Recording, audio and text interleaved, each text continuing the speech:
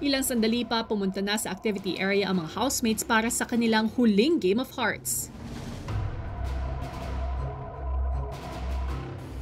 Volleyball. Welcome sa iyong ikatlong Game of Hearts na tatawagin kong Tinamaan Ako sa iyo. Isa-isang haharap ang housemates para sa larong ito. Isang sequence ang dapat ma-memorize ng player na makikita niya sa plasma na nasa garden area. At base rito, kailangan niyang matamaan ang kapareho at tamang sequence ng mga litrato gamit ang isang volleyball sa activity area. Kapag ibabato ang bola, hindi maaring lumagpas ang player sa green line.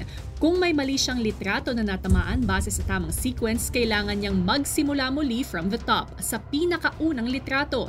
Anytime pwedeng bumalik sa plasma para silipin muli ang tamang sequence. Sa larong ito, ang mga ligtas na sa nominasyon ay magsisilbing tagapulot ng bola para sa player na kanilang piniling matulungan. Ang community naman nagpadala kina Quincy at Gail kaya may advantage sila. Sampung target na lang ang kailangan nilang matamaan kaysa labing isa. Mas malapit din ang distansya nila habang binabato ang target instead of 20 feet, 19 feet na lamang. Pabilisan ang larong ito kaya naman good luck housemates! Handa ka na ba? Handa na po, kuya. Yes, kuya. Okay po.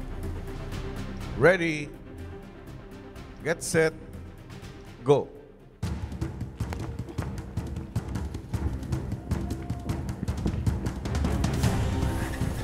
Chico, Kobe, Amanda, Ralph, Gail, Leifer, Ella, Quincy, Andrea, Alyssa, Gian. Magaling naman po ako sa pag-memorize po, kuya. I had that confidence na mamememorize ko yung sequence po, kuya. Si Quincy may kakaibang paraan naman para ma-memorize ang sequence sa plasma. C-K-A-R-G. C-K-A-R-G. Naging strategy ko po is when I saw all 10 sa mind ko, I just had to memorize the first 5 muna. Mas madali po kung sasauluhin ko lang po yung first letter of each of the housemates. Chico. C-K-A-R-G. Ay, ano ba yan? Maging si Gail may ibang paraan kung paano magmemorya at ito ay sa pagbibigay tono sa pangalan ng housemates. Chico Amali, Chico Amali, Chico Amali, El Qui, and Al. Chico, Kobe, Amanda, Ralph, Leopold. Memorize ko po talaga yung mga tao po, kuya.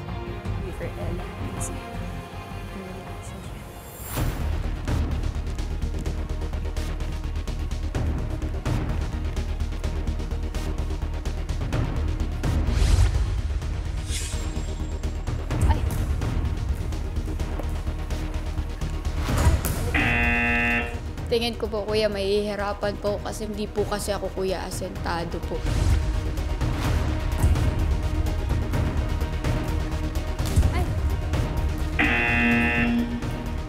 Gaya ni Ella, si Alyssa hirap din sa pag-asinta. Doon ka lang, doon ka lang. Yeah. Siya isa po yun sa weaknesses ko talaga, shooting targets, especially just with my arms.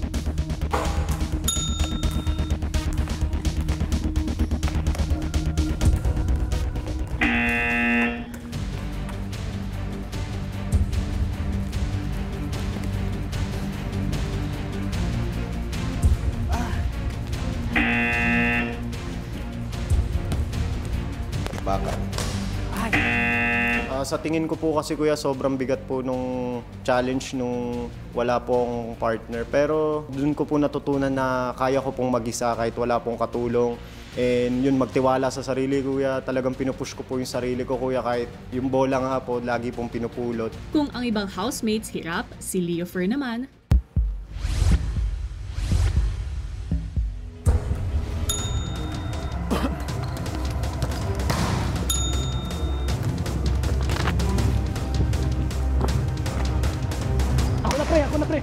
Kailangan ko po talaga tamaan yung mga litrato, kuya. Naalala ko po yung pagiging baseball player ko po dati, kuya.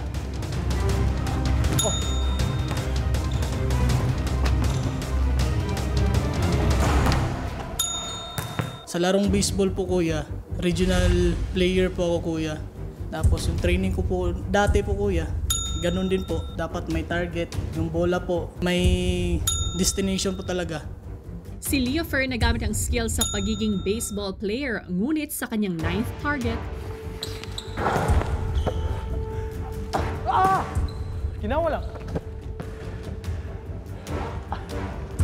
Take your time. C. K. K, K, K, K. C, K. A. si Gail sumubok naman ng iba't ibang klase ng pagbato sa bola. sinubukan kong itry kung um, what would be yung pinaka-epektibo po way to hit the pictures po kuya. Samantalang si Ralph hirap naman sa pag-asinta ng sarili niyang picture.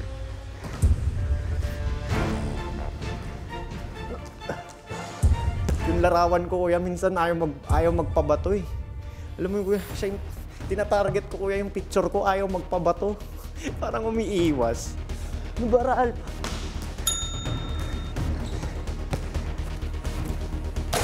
Chico. Kobe was really helpful. Binibigay po niya yung bola agad. I didn't have a moment there na I had to wait long and wait for the ball to get back to me. Gail.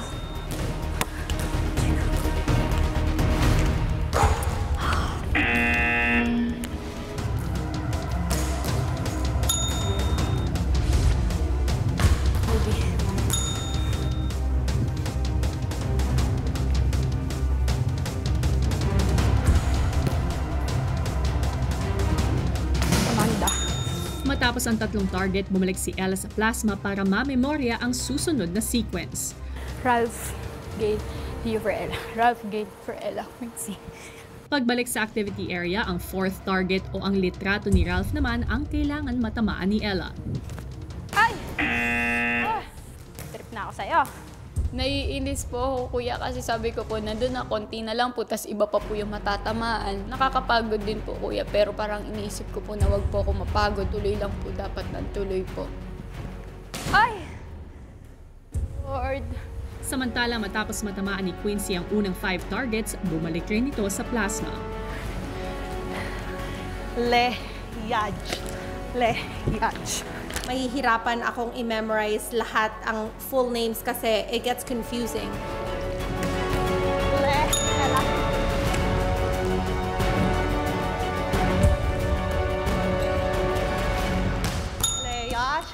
Si Leo Fer hirap pa rin sa pag-asinta ng kanyang ninth target. Pangitain mong angle. Habang bumabato po ako ng bola po kuya sa mga target, iniisip ko po talaga kuya na para akong naglalaro po ng baseball po kuya. Ay andi lang natagalan po. Sa sobrang enjoy po siguro kuya, hindi ko na po nakontrol yung bola po. Kung si Leo Fer ay nakausad na, si Alyssa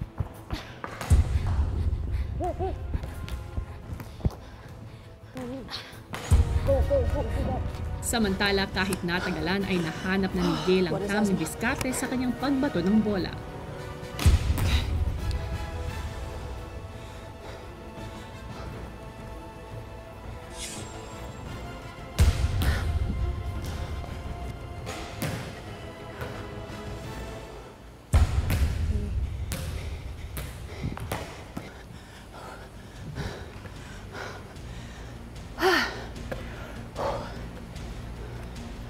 Kasi alam ko naman yung sequence talaga, that's not the problem. It's just yung aim ko po, yun yung problema.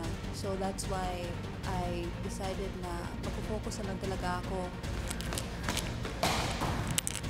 Andrea. Alyssa. Wait. Oh!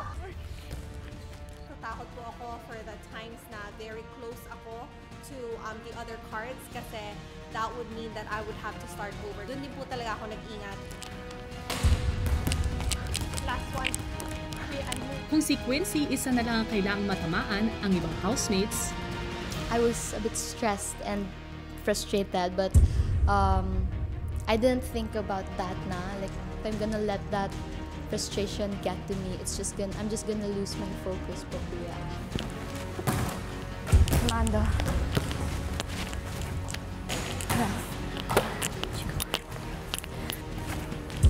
do. You first.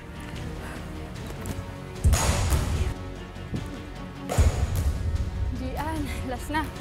Dapat itong last chance na to, parang dapat i-push na talaga, ibigay na talaga lahat kasi ito na yung final eh, kuya. Parang ibigay mo na lahat ng makakaya mo.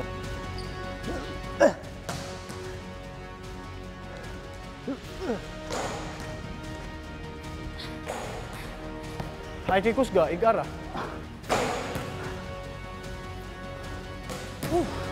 Sino nga kaya sa housemates ang may pinakamabilis na oras sa huling Game of Hearts? At sino ang mapapasama sa listahan ng mga nominado? Mamaya yan sa pagbabalik ng Hello Philippines and hello world! Thank you for watching Pinoy Big Brother. Stay connected and don't forget to subscribe to Pinoy Big Brother YouTube channel para maging updated sa latest happenings sa loob at labas ng bahay ni Kuya. And don't forget to like, comment, and share this video.